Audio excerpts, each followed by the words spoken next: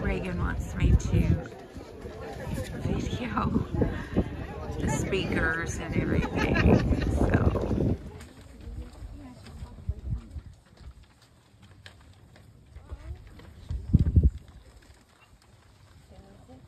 I look out across the crowd and I see a lot of brothers and sisters in Christ.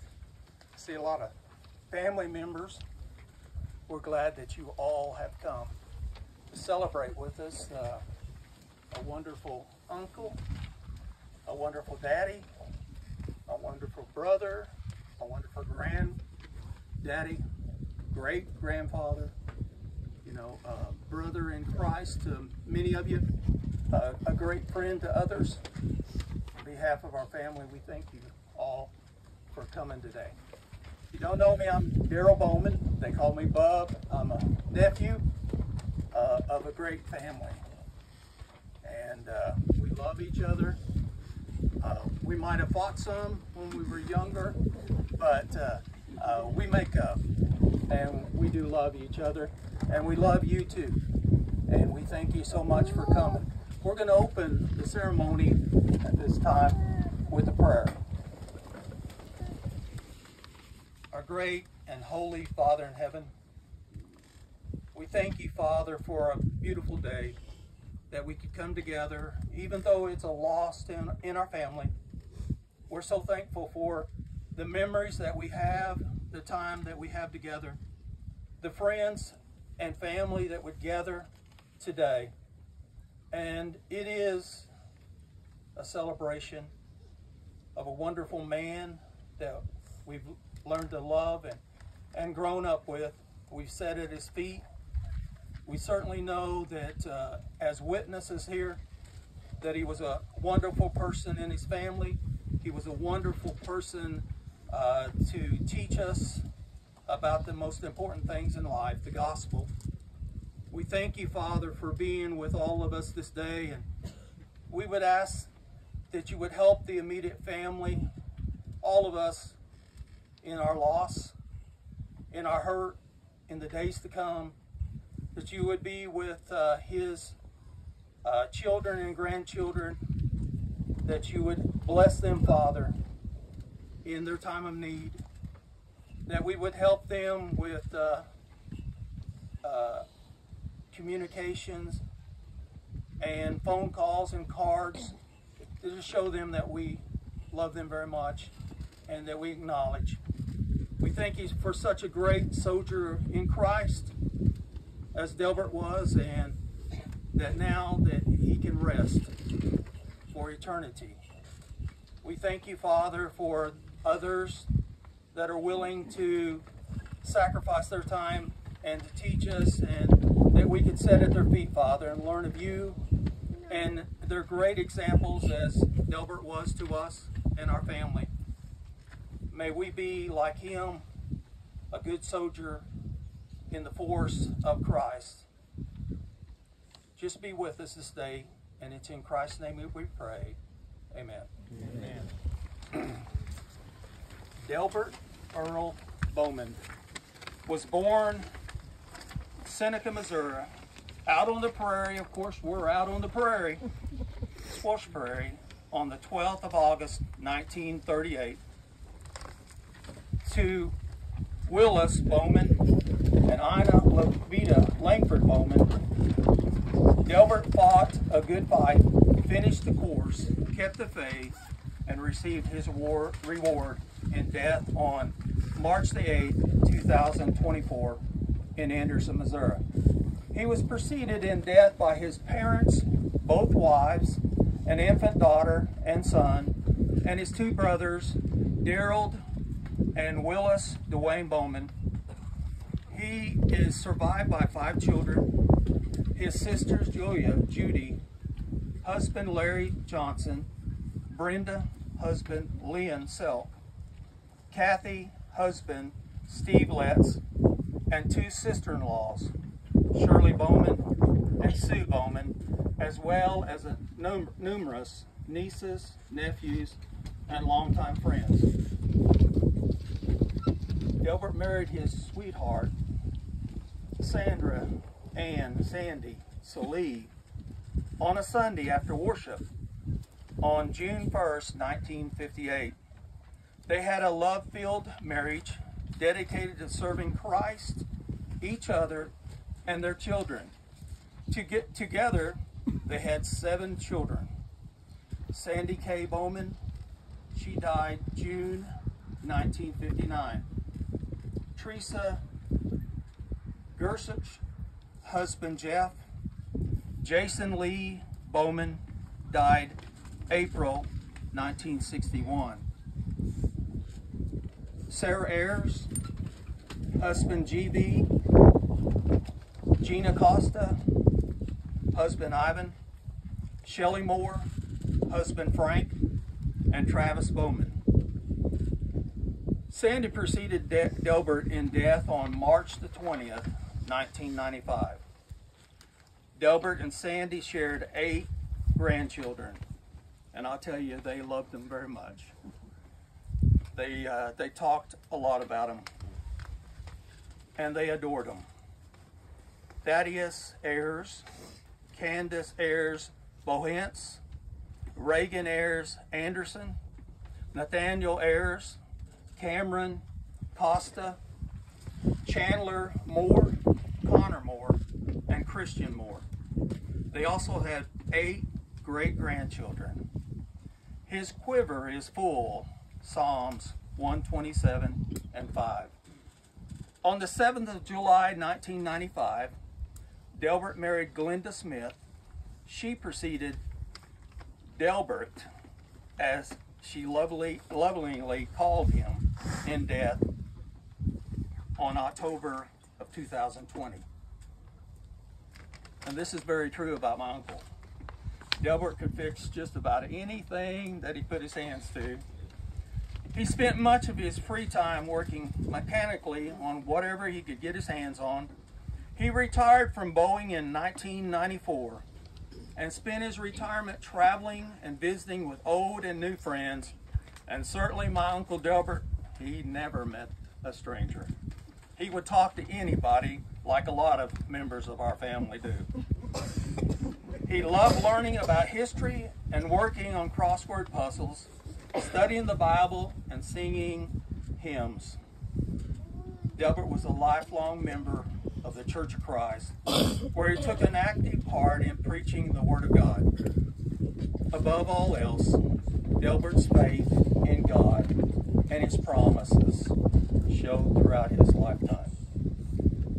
Delbert's family would like to thank the memory care nurses and aides at McDonald County Living Center in Anderson, Anderson, Missouri for loving and doting on him for the last almost four years. He was a very he was very happy and content there. Also would like to thank the Regional Hospice Center, especially Brandy Rowe, for her outstanding care of Delbert at the end of his life. But I would not have you be ignorant, brethren, concerning them which asleep, that ye sorry not, even as others which had no hope My uncle certainly had hope.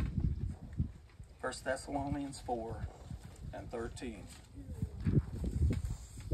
We love you. We're going to miss him just like you are. And uh, he loved the family very much. He was very special to us in this life. Thank you very much. Precious memories.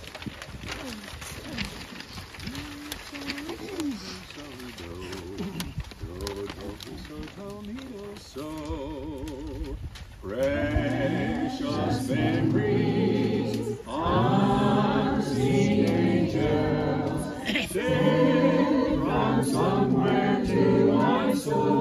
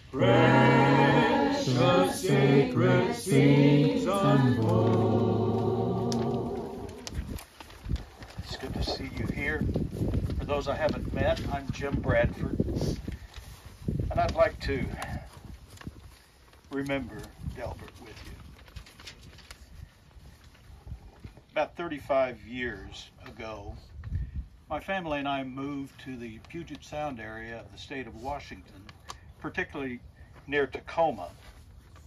And I'd moved there for reasons with Patty. I'd moved there for work reasons with Patty and our three oldest daughters at the time, who, when we moved, were four years old, two, and two months. We lived there for about two years before we heard that Delbert and Sandy were coming to that area because of Delbert's job with Boeing. I knew Delbert a little because Gina, his daughter, spent a lot of time with my sister Kathy, but I didn't know him all that well. After they moved to Washington, that's when Patty and I really got a chance to get to know Delbert and Sandy well. Many of us here know that things often work out in ways we don't fully understand at the time. I can't say that I perceived having any needs at the time that they moved to Washington, you see, because I was young and overconfident and thought I had every challenge met. I talked myself into believing that, of course. But when Delbert and Sandy came, I quickly saw how much my kids needed them and how much my wife needed them and how much I needed them. It was just right and at the right time. My children needed grandparents more than I realized. As a grandparent myself now 11 times over, I understand that a little bit better than I did at that time. But Patty and my parents were over 1,900 miles away at the time, and none of them could be accused of being travelers at the time.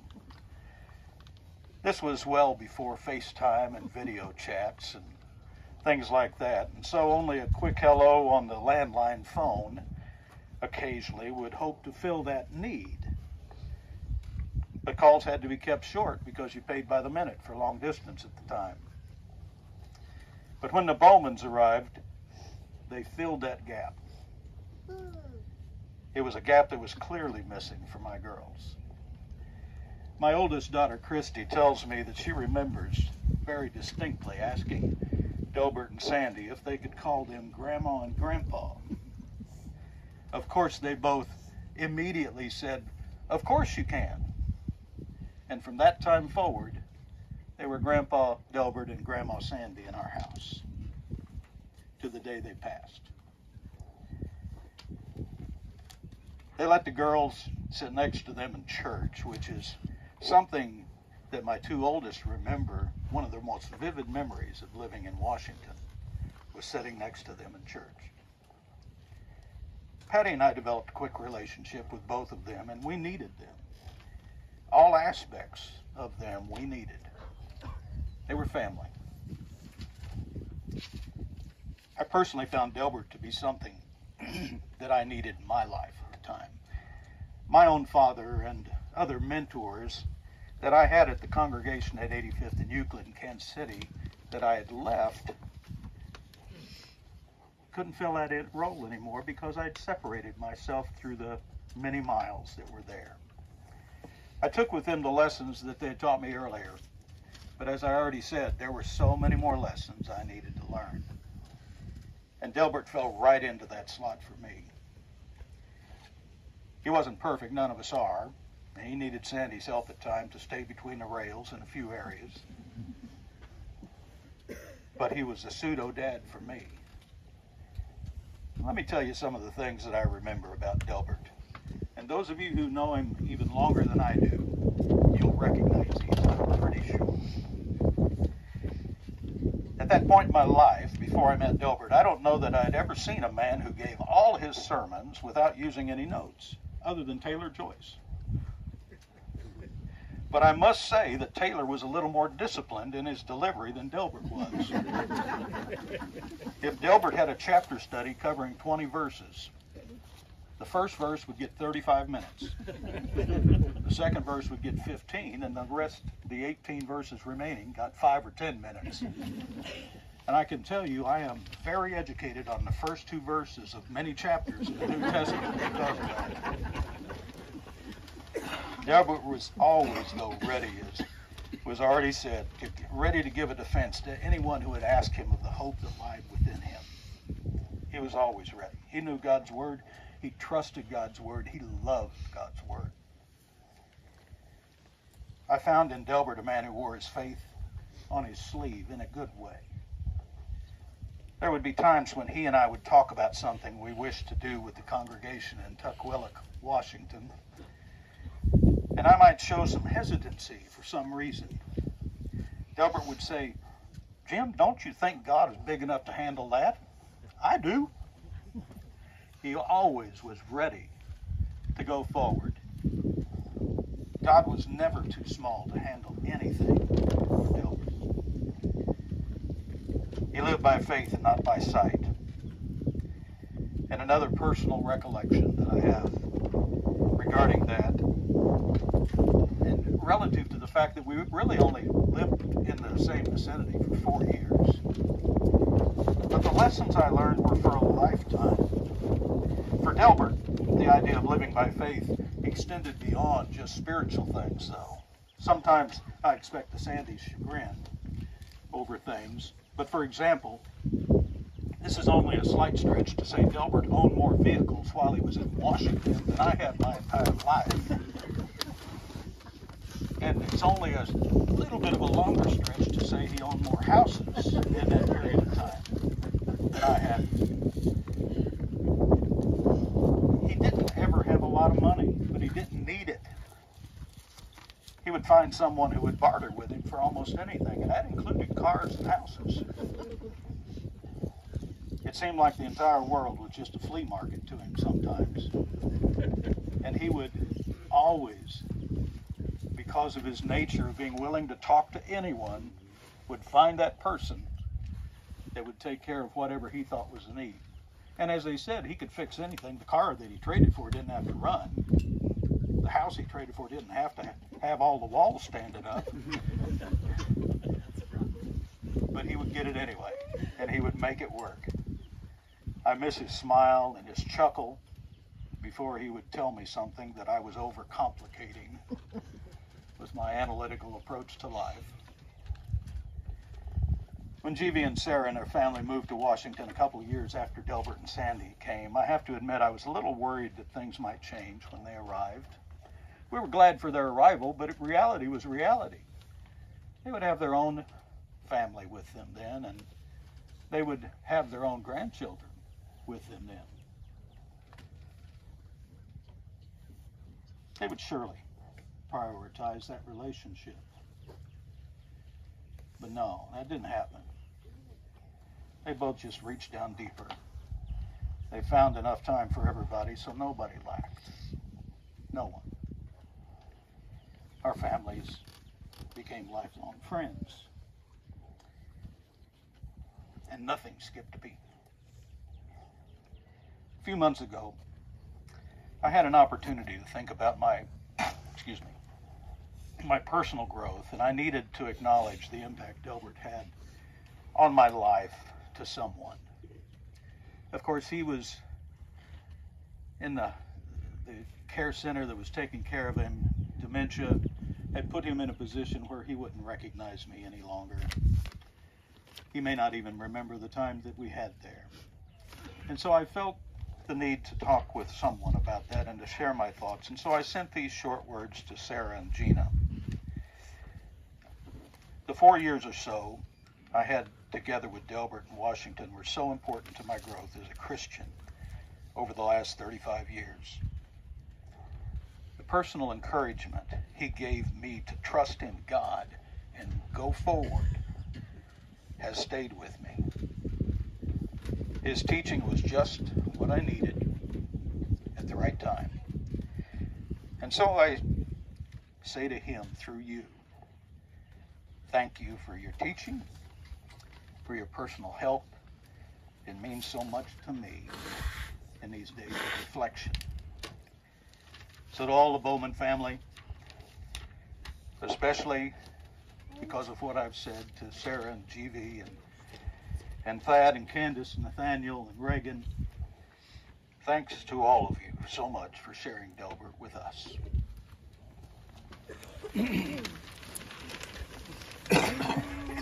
so, mi, do, mi, so, do, mi, so. Come to the garden, oh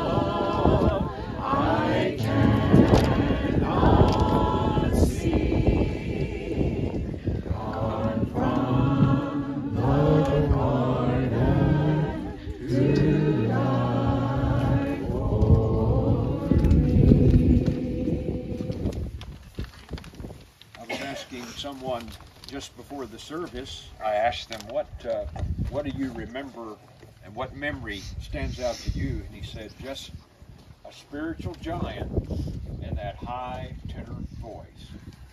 I'm Bob Loudermilk, for those that haven't met me, and uh, I'm going to share a few memories. I was thinking on the way here, the power of memory. Have you ever thought about that? God gave us memory that can keep us out of problems and learning from our mistakes. Memories can bring blessings to our soul. You know, I was thinking about Luke 2. Two times in the book of Luke, chapter 2, the Bible says that Mary treasured up things in her heart. One was when Jesus was born in the shepherd's cave. And because of that situation, it says she she treasured those things up in her heart. The same chapter, Jesus, they can't find him for days, and finally they find him teaching, and they don't understand it. Jesus explained, Don't you understand that I have to be about my Father's business? And it says that she treasured those things up in her heart. So I'm going to speak for a few minutes this afternoon because those of you that knew Delbert have things that are treasured up in your heart. And memories are a blessing. The Bible says the memory of a righteous man is a blessing. There's a lot of things that you have as treasures. I was watching years ago, I'm not a follower of Dr. Phil, but I happened to see a short clip of him and Oprah. And Oprah was watching and looked like she was going to jump out of her skin. As Dr. Phil counseled someone that had lost a child as a young adult and it just destroyed her life. And he asked her, he said, Do you think maybe you want to go back and think about what you had for 27 years? And she said, I never thought about it that way. What's so interesting about memory? People say, you know, two things that I'm going to debunk right now. I'll check this before I tell you what I was getting ready to say. They say, well, you know, someone died, you can't live forever. That's wrong. You can live forever. And the other one I hear is, well, you can't change the past. Well, actually, you can if you're born again, but there's another way you can change or reframe the past. I don't know are many people that go through childhood don't come out with some scars, some things they can dwell on and think about. But did you know you can reframe and take the treasures that are in your heart and remember those things? That's what I want to talk about for a few minutes. The year was 1977. It was summer and fall. Was invited to hold a meeting in Neosho, Missouri. Never been there, thought it was a small country church. When we pulled up, I told my wife, this is not the right place. There's too many cars here. And it was the right place. And I was told, you'll be staying with a couple, Delbert and Sandy Boman. They have five children. So that was my introduction. The meeting began on Wednesday. We were there five days.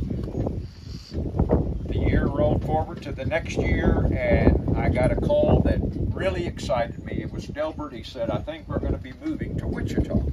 And they did. In August of 1978, with their oldest child at age 17, Teresa, and their youngest child, uh, seven, Travis, and then three beautiful daughters in between.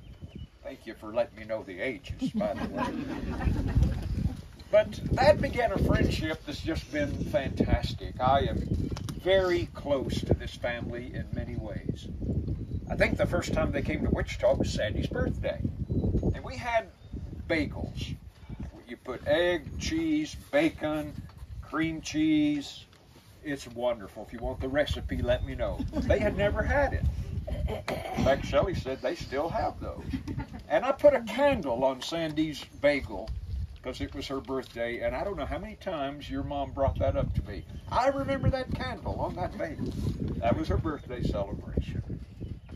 I remember very clearly the night Delbert and I left on a Friday to go move them to Wichita. He was already working in Wichita.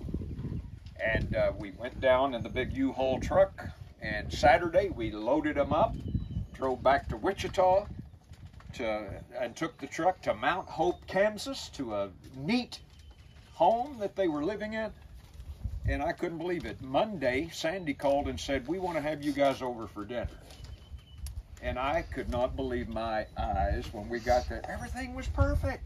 Everything was set up. Dinner was prepared on a Monday. Could have been a Tuesday, but I think it was a Monday. I thought, How did you do that? I guess by Save on his gentle breast,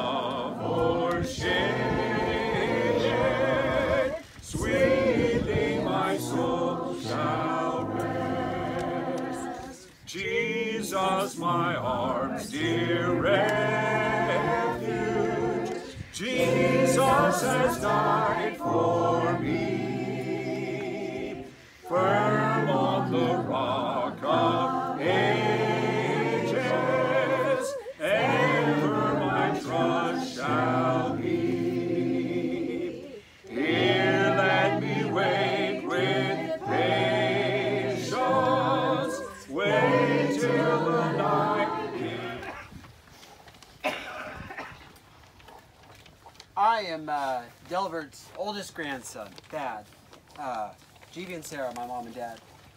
And I just wanted to share just a little bit about the perspective from the grandkids. Um, kind of thinking about this, and I kind of came to a conclusion. I had three Grandpa Bomans. I'm going to share all three of them um, that we knew. Don't worry, it won't be that long. I wrote it down so I won't uh, uh, uh, veer off course as my, my, my grandfather was known to do, and some of us are. So, um, but uh, as I said, there were three Grandpa Bomans we knew, and they they really each reflected distinctly the season of his life. I know it's a bit backwards, but we're going to start at the end and work toward the beginning, so to speak.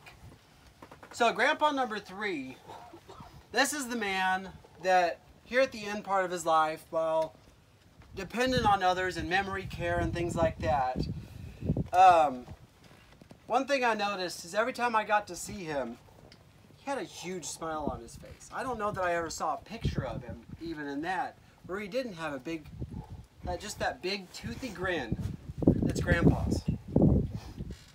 In 2019, my wife and my two boys at the time, um, we decided to add a daughter later, um, but uh, we went and visited him in Houston, Missouri.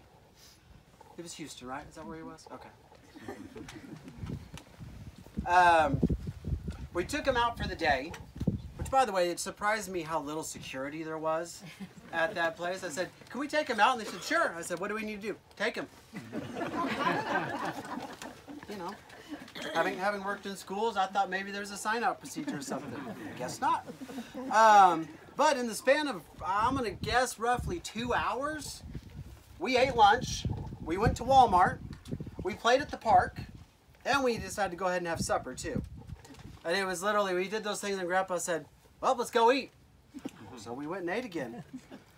And uh, he just loved spending that time with his great grandchildren. The, the one thing I've got stuck in my head is him feeding my middle son, Collier, waffles. He had ordered this thing of waffles, and I don't know if I don't remember what happened, but Collier enjoyed it, and Grandpa just kept cutting him a piece and just stuffing it in his little mouth. He just thought that was great. I'm glad we got to experience that, man. Grandpa number two is the one in a lot of ways, the other grandkids, except for Candace and I, got to know. And I didn't understand it before. But now I realize a large part of this time, sorry. Large part of this time was marked with grief and the struggle that came with that time of his life. Glenda was a good wife and grandmother in her own right, but my grandma Sandy can't be replaced. I know most of you who are, most of you grandchildren don't have memories uh, much of my grandpa because because much of my grandpa's memory was impacted at that time. Plus, he did quite a bit of moving through that time too. But here's what a couple of my cousins and, and siblings have said from that second period. This is the best I could get in, in, in the time span that I that I uh, uh, gave. So, um, my brother Nate, he said, I'll never forget at my high school graduation party when my dad asked people to share stories about me. Grandpa immediately chimed in with one of my more embarrassing childhood stories. They couldn't remember what it was. I wish, uh, hopefully, maybe we can find it and, and you know, tell it again. Uh, but he said 18 year old me was mortified, but now I just love to hear him chime in with something about me. My sister Regan said uh, one time in evening church services, he led a song that had like 12 verses in it. it was quite a mess. And none of us had ever sung that song before, of course. But he led every single verse, and it took like 10 minutes. It was the invitation song on Sunday morning.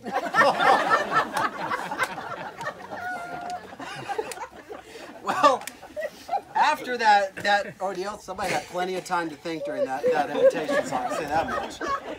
When he sat down, he looked at me and he said, Well, that could have gone better.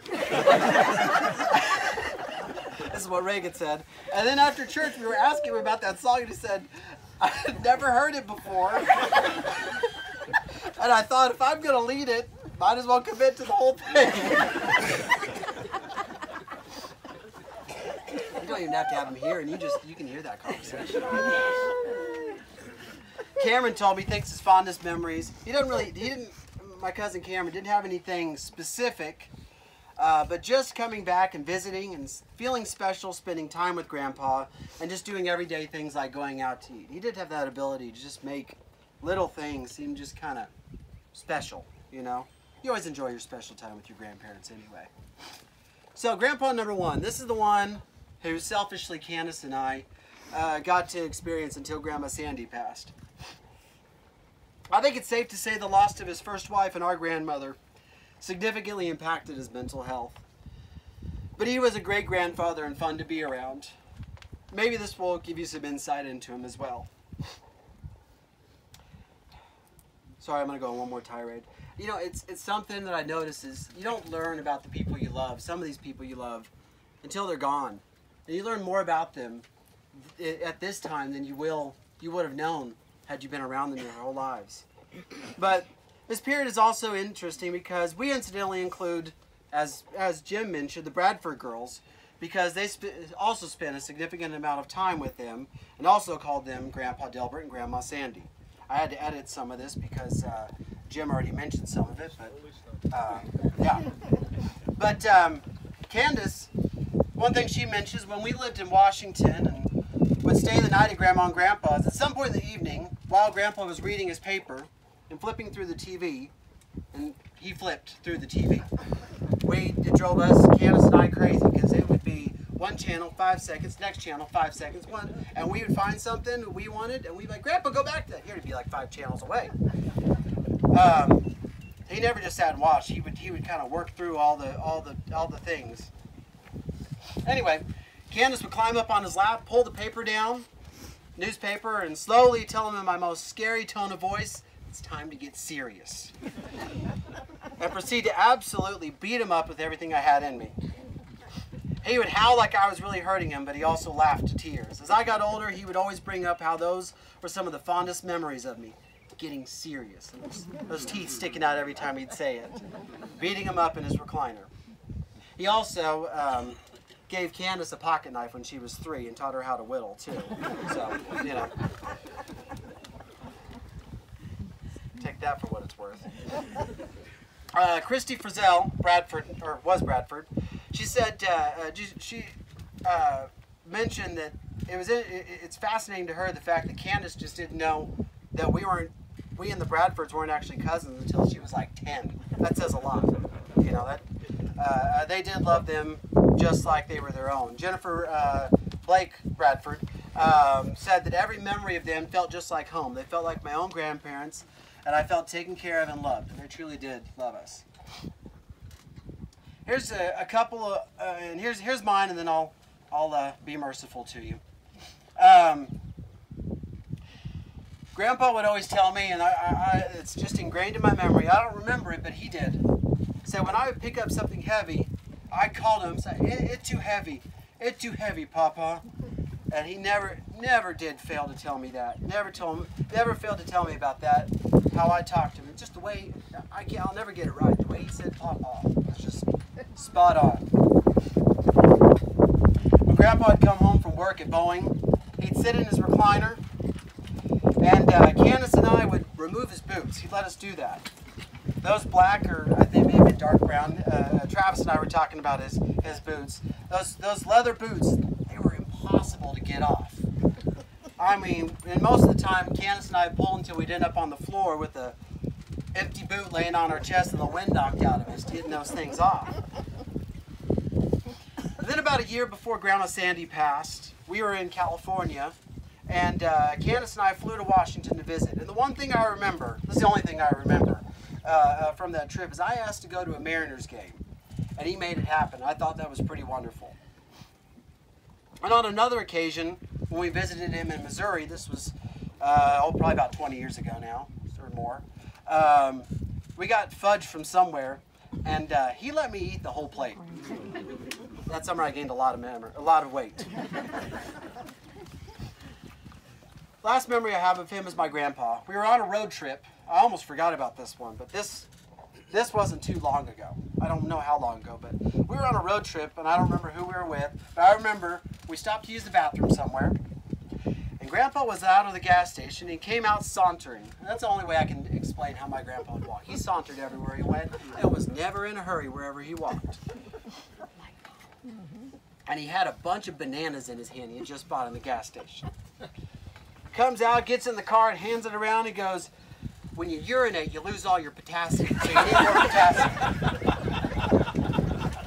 I looked it up. It's I don't think I don't know if that's exactly true, but every time I uh, get bananas, I, I pretty well think of that. And I have to keep myself from saying it too. He for sure he loved us and he did his best. And given the circumstances, all three grandpas were good men. He loved the Lord loved the church, and I appreciate his faithfulness and example. Thanks. Let's sing faith his funeral. So that's what I'm going to do today. Do somewhat here. So in preaching, what I'm going to do tell some stories. I'm going to do a chapter study from John the 21st chapter. It's 25 verses. So I'll do it in Delbert Boman style. No, I'm not. But as Bub pointed out, Bub read in the obituary, Delbert was born born on the prairie, on Swarsh Prairie.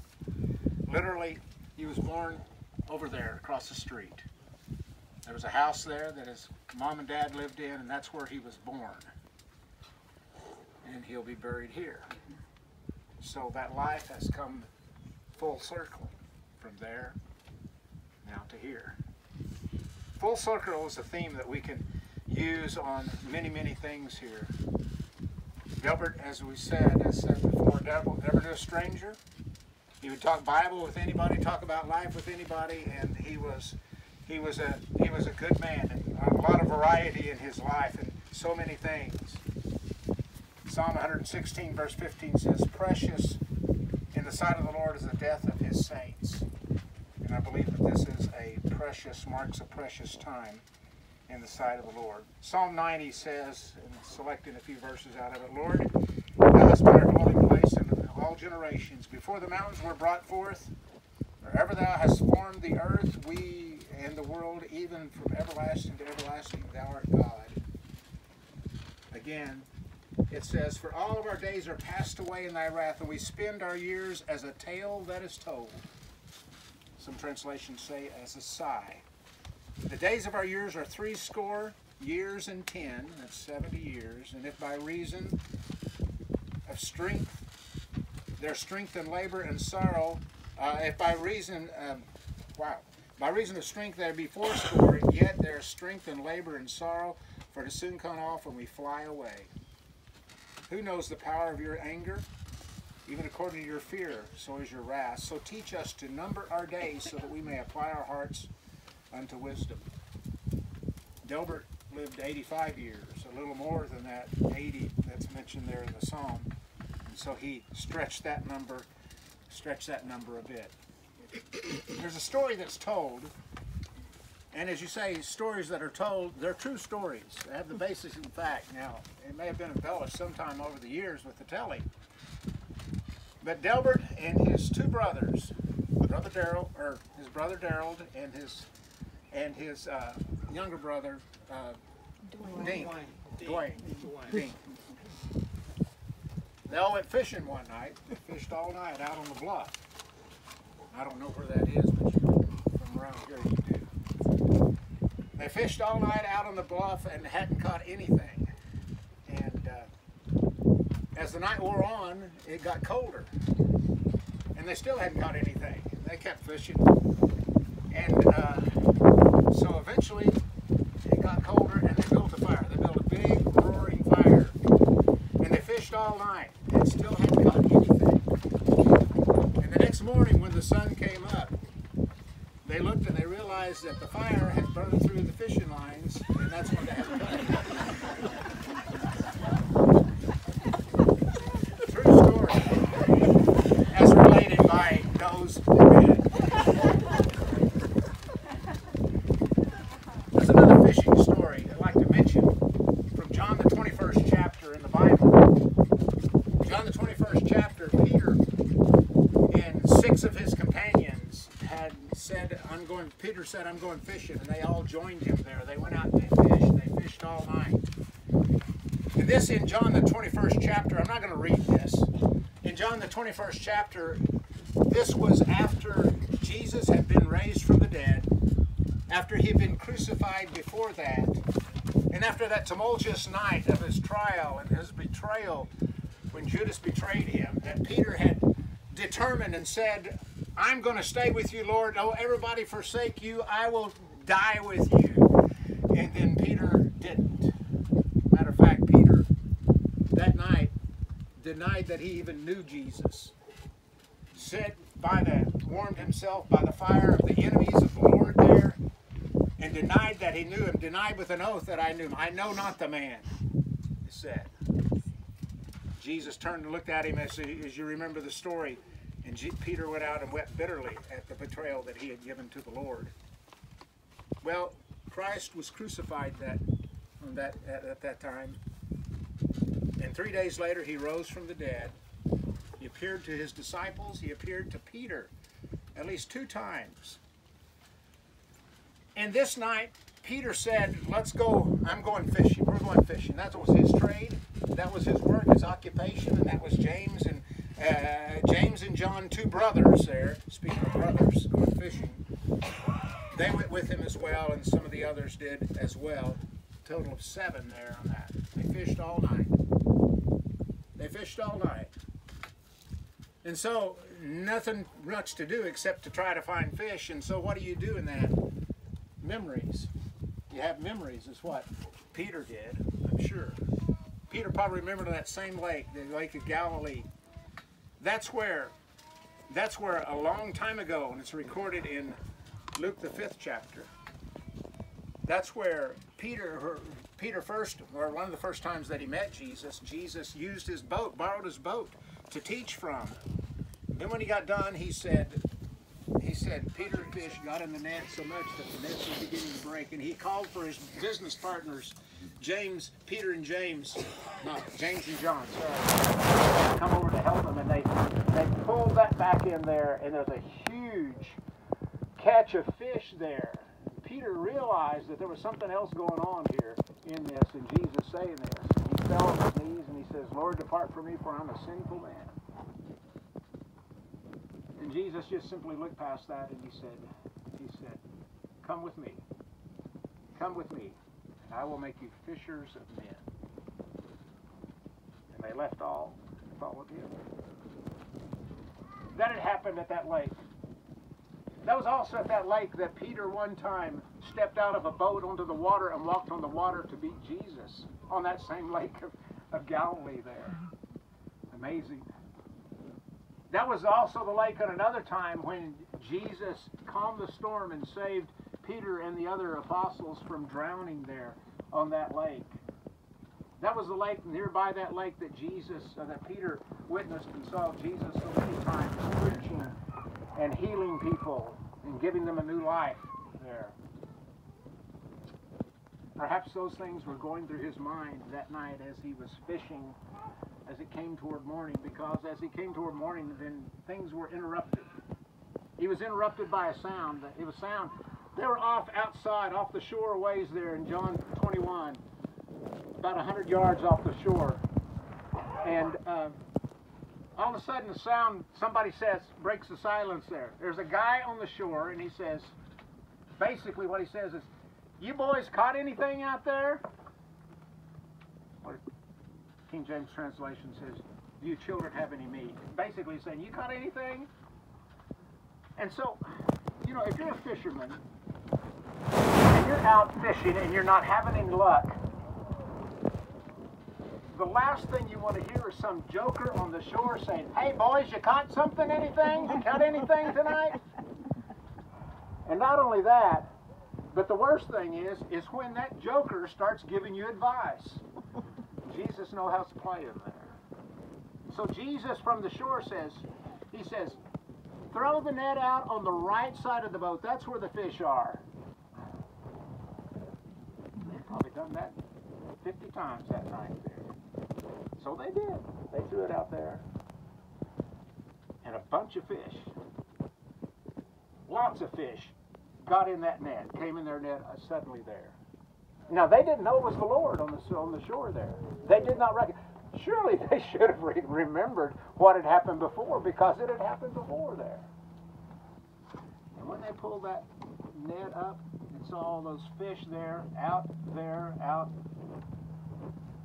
John, the Apostle John, he said, look back, he said, it's the Lord.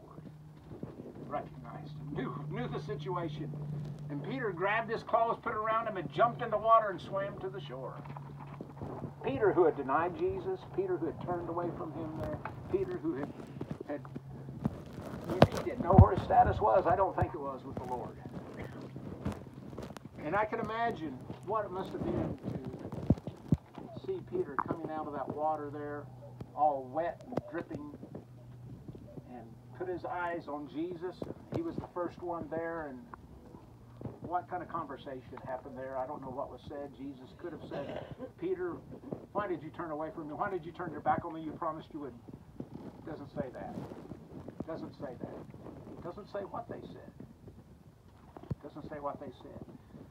The boat was about 100 yards out, and uh, so when they got in, they pulled it in. There was 153 large fish, the scripture says, in the net.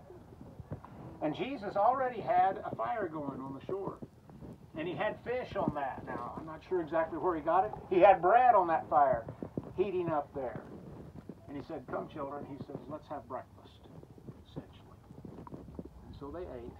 They added some of their fish to it there. They ate. And then afterwards, after they'd all eaten, Peter is addressed by the Lord. And Peter says, Do you love me?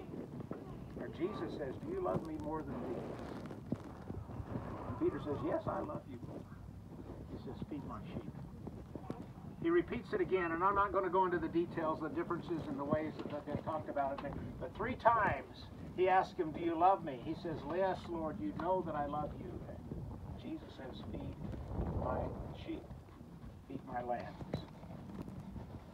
And so it is here in Peter's life that Peter comes full circle with the Lord. And the Lord comes full circle with Peter because, as he called him once before, he lets Peter know even though you have strayed, even though you have turned away, even though you have denied me, now if you love me, I've got work for you to do. I've got work for you to feed my sheep. Notice he didn't say follow me here because you know that doesn't make sense because Jesus is going to heaven here in a, long, a little bit. He says, I'm going to wait for me. I want you to feed my sheep. And so the idea of going full circle. Delbert went full circle many times. He was born there, moved to Wichita, moved to Washington, and when Sandy got bad sick, came full circle, came back here. He and Glenda married, and as their health failed, you know, they moved all around, and Delbert preached a little bit everywhere and, and, and had houses a little bit everywhere, but as their health failed, they came out to California to stay near us. And then they came back here, and I remember, Jeremy, you probably remember what your mom would say. I want to go home. I want to go home. And home was southwest Missouri.